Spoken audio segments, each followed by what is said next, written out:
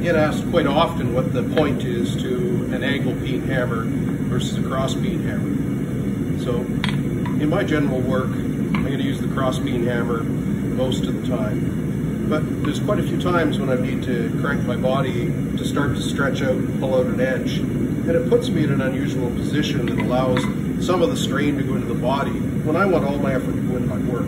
So the angle peen allows me to stand in a strong ergonomic fashion, deliver my, all my blows in the isosceles triangle. I always try and keep the hammer blows in front of my center, so this allows me to stand in a strong position, deliver good blows. In the hands of a left-handed person, it becomes a straight peen, causes greater straightening versus elongation.